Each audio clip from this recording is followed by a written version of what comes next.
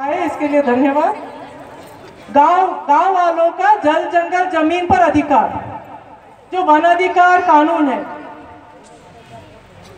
तेरह बारह माह आप उसके बारे में आप अ, आपको मालूम है कि लोगों को वन अधिकार पट्टे मिले हैं कि नहीं मिले हैं?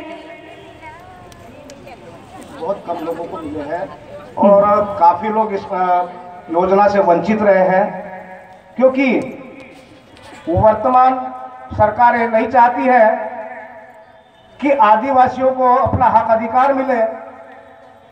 अगर सरकारों के मन में आदिवासियों के प्रति अच्छी भावना होती तो इस इस विधानसभा के एक भी आदिवासी वन भूमि से वंचित नहीं रहता।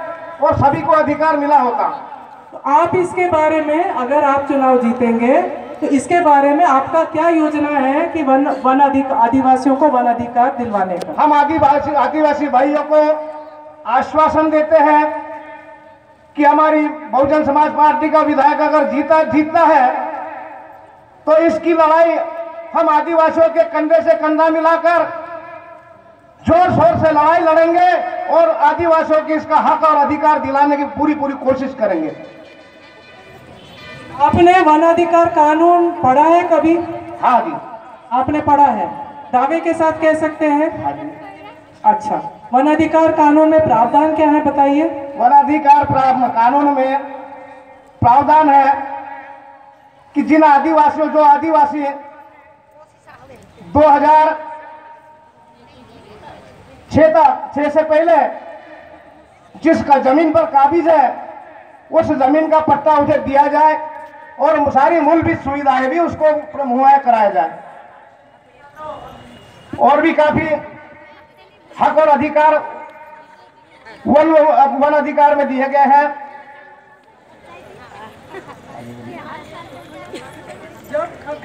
हकनौर में नेपा में, बुरहानपुर में अपने अधिकारों के लिए हज़ारों आदिवासी गए कि उनके साथ जो अत्याचार हुआ तो आप साथ देने आए थे नहीं आए थे? अ, इसकी जानकारी नहीं थी।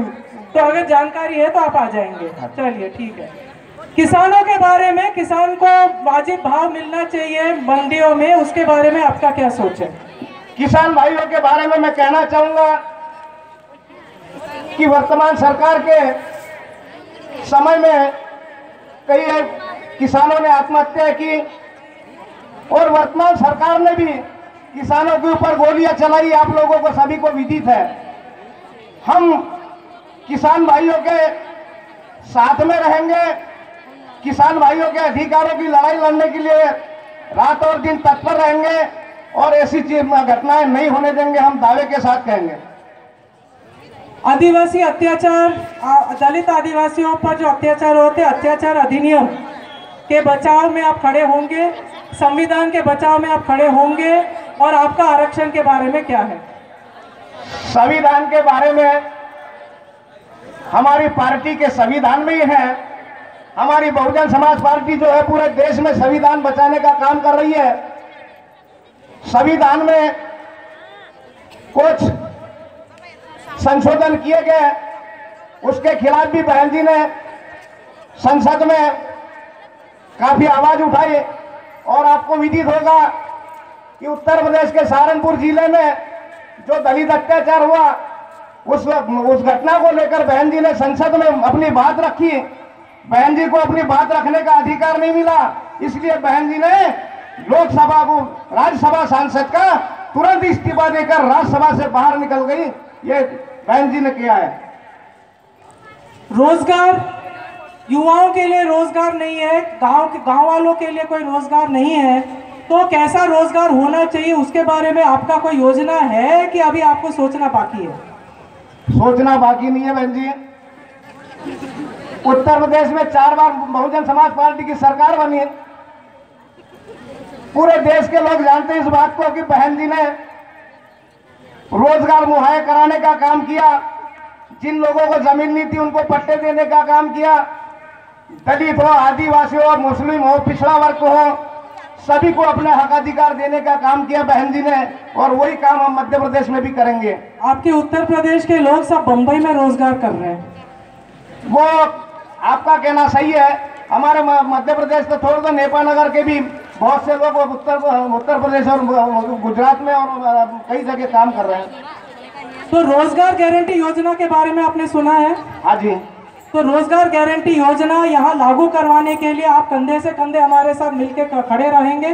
रोज़गार गारंटी का काम लगाने के लिए आपसे कंधे से कंधा सारे आदिवासियों के साथ मिलकर काम करेंगे और वर्तमान सरकार जो रोज़गार गारंटी पूरी तरह से लागू नहीं करती है हम 100 परसेंट लागू करने की कोशिश करेंगे। शिक्षा के निजीकरण और शिक्षा के व्यवस्था के बारे में आपका क्या कहना है? शिक्षा ये मनवादी सरकार है। मध्य प्रदेश में आज तक जितनी भी बनी इन्होंने हमारे बच्चों को कक्षा पहली से हाथ में कटोरा देने का काम किया। ताकि ये अगर बड़े होंगे तो इनको इनको भीख मांगने की दिक्कत ना आए।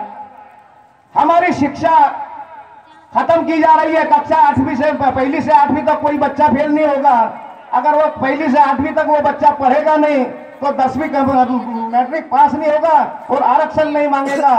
ये इनकी सोच है और हमारा आरक्षण खत्म खत्म न हो। तो आरक्षण भी चलता रहे और आरक्षण नहीं मिले। ये इनकी नीतियाँ है। हम निजीकरण को खत्म करके सरकारी स्कूलों में मास्टरों की भर्तियाँ कर कर उचित शिक्षा का प्रावधान देंगे और हर गरीब का बच्चा गरीब के बच्चे से लेकर तो अधिकारी और मंत्री का बच्चा भी सरकारी स्कूल में पढ़े, यह हम प्रावधान रखेंगे।